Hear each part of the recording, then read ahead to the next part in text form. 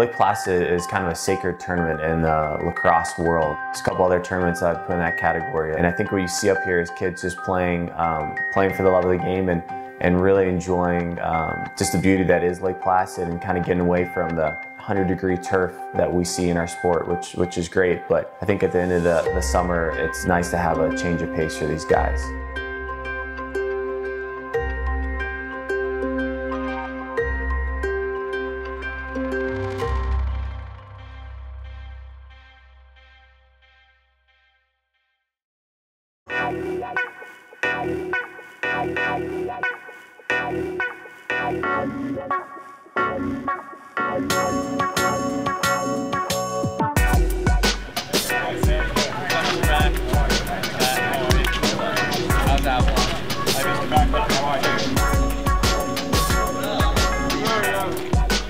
These guys arrived with us on Saturday night. We check into our dorms, and um, it's just the first night together. We have to hang out, get to know each other, and then uh, Sunday we roll into kind of a full day of off-the-field activities. Thanks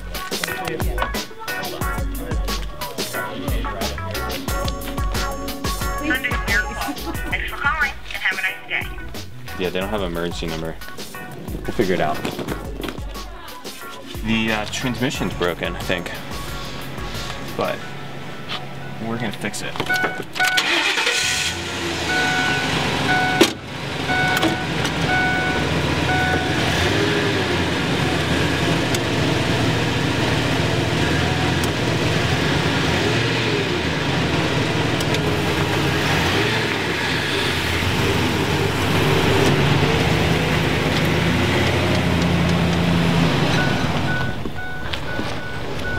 I looked at the registration. It's it's it was registered to Lake Black Lake Placid Baptist Church, which is where we stay sometimes. So I called the pastor there, and I was like, "Dude, I have your van and it doesn't work." And he's like, "Yeah, the transmission's broken on it." So they rented us a bad van? They had dropped it off to get fixed. No way. Yeah. So we'll just have to get that other van. So, or we're just gonna be, uh, I think zip tying kids to the other van on the outside, bungee cord. We'll figure it out. Didn't you guys win the whole thing? No. Oh, no, you won. The dorms uh, are a unique situation. The dorms, um, they're smart. It was smart of the coaches to do. Um, we're not in town, but we're here, and it, it kind of forces us to hang more as a team instead of breaking into little groups, which is good. Can't really tell you what goes on in the in the dorm rooms though. It's obviously really interesting with no TVs. Uh, you're kind of forced in a way to uh, get to know everyone and spend time with everyone uh, for the better. A lot of the times when you go out to these tournaments, it's just a lot of lacrosse, which is by no means a bad thing, but the things off the field that FCA offers um, brings a unique experience that is like no other. I would say it's something that if you have the opportunity to be a part of, you definitely wouldn't want to miss out on it.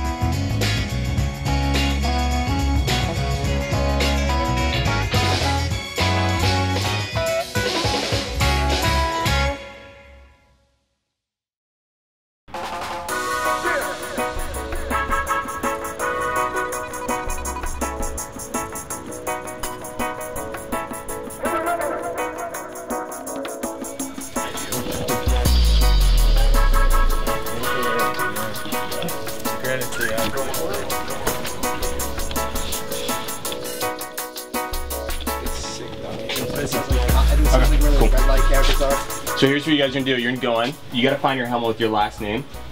And then there'll be bags. I'll go in there. Your bags have your name. So it has two shirts in it, your shorts, and then there's gloves. The first two piles of gloves are larges, and then the last pile are extra larges. So try to like not, there's not a many extra larges, so if you guys have small hands, like don't grab an extra large. And then uh, what we'll do is, let's say 11:15, we're gonna go across and meet there. Grab our Bible, so you guys can go try everything on. If something doesn't fit, I have other sizes, okay? Sound good? All right, let's do it.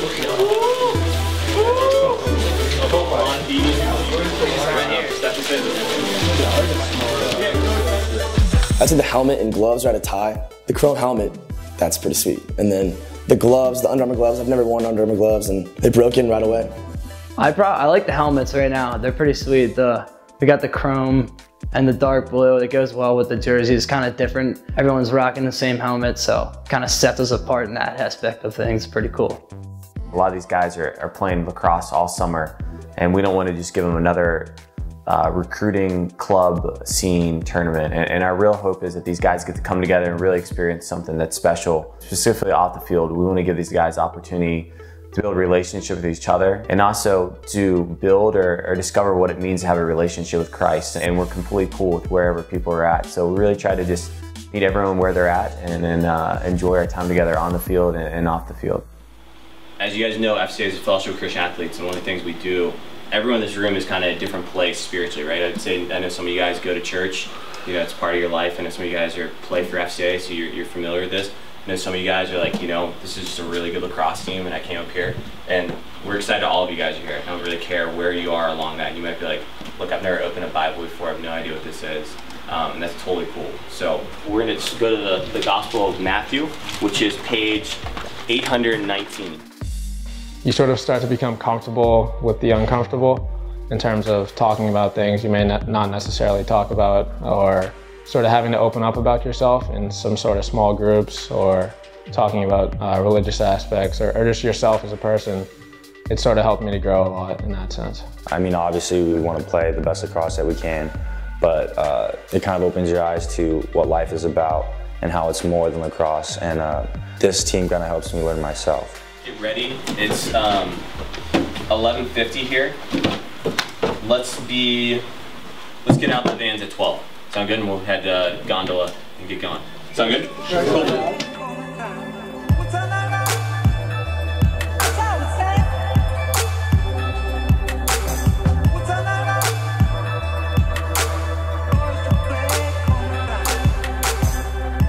Whiteface was pretty crazy. Growing up, looking at the mountain, I'm like, holy cow, like how do people ski that? From the bottom, it looked insanely steep and I'm not a guy who does well with heights. So I've been on a gondola a few times, but uh, I mean, it's definitely something I'm not used to. Whiteface was awesome.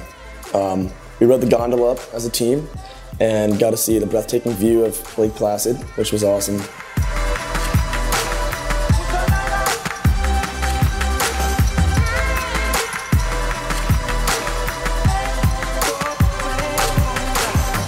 That was my first time at the top of the peak, and so I've never seen such a pretty view here in New York. I was just like, wow.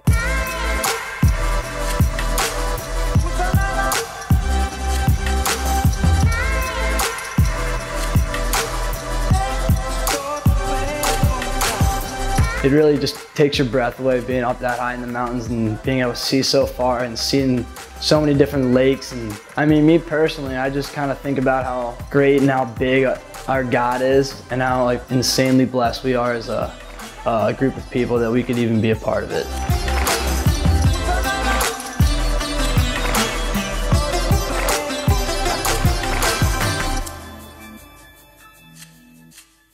By the afternoon, we try to get some lacrosse in, get a good practice over at Northwood School. Definitely really excited to play. Uh, there was definitely some chemistry issues that we had to work out, some knots. Uh, but once we kind of got the ball rolling, we saw how talented we were. The practice helped a ton. Breaking in the new equipment, meeting the new guys, playing with them for the first time, I think that was big for us. Well, I'm Coach Kelly, coach at Capitol High School, and uh, I guess this is my second year coming up here coaching. I coached some of you guys last year. Looking forward to having a, a good event, and um, I'm really excited to be here. I'm looking forward to watching you guys develop and grow as a group, and uh, let's go out and be the best team we can be, and if we are, we should win this thing. Let's get a good diamond stick work. Calvert Hall guys that get in a different spot, we'll just do one big stick work group, and then we'll be ready to go. On three, FCA. Ready? One, two, three. FCA. All right, let's go.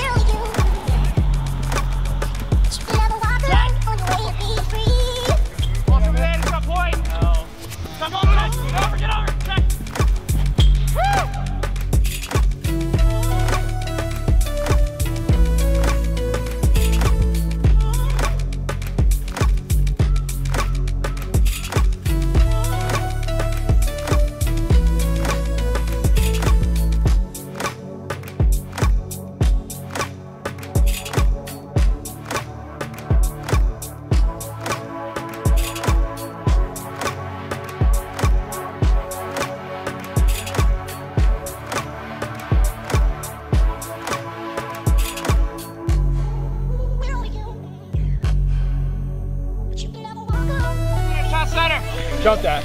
Here, on it. I'm in, I'm in. Out. Still split Hey, here, watch- though. Give me one. Yeah, Step in, on. Jake. Step in. Watch it popping out. I'm back. Step in. Go ahead. Oh, Go baby. Oh, on, down. Oh, Edie! Come on, come around and shoot it! Again, again, Got put across. it, You Mark. start. Wide open. Good. Move it. Move it. Number one rule, no unassisted goals by, on a short stick. Does that make sense? If, a, if we have a short stick on the ball, we should be ready to go. All right, you guys are good. Get all the balls. All the balls.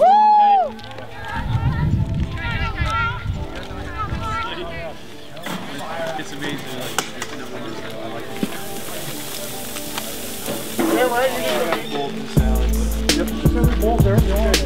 Hey,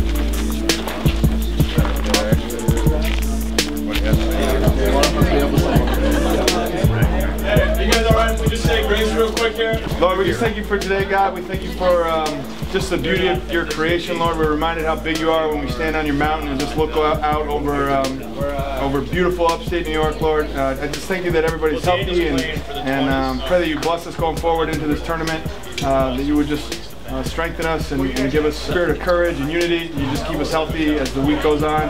Pray that you bless this food to our use and us to your service. In your name, amen. Amen. Hey parents, if I guys have you guys come in here a little tighter, up under the pavilion.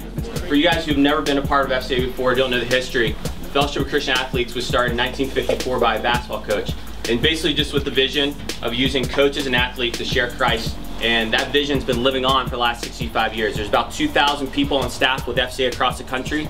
And we have about six people on staff specifically that do this lacrosse ministry. Ryan was fortunate to be on the first FC lacrosse team ever 25 years ago in Vail. And uh, FCA just has a, a really rich history with their teams, and uh, especially up in Lake Placid. We've been coming up here since 2004, and uh, for the last six years, we've been able, fortunate enough to win this tournament. So we're gonna try to do that again.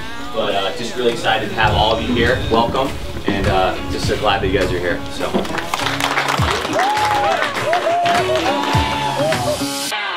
Thank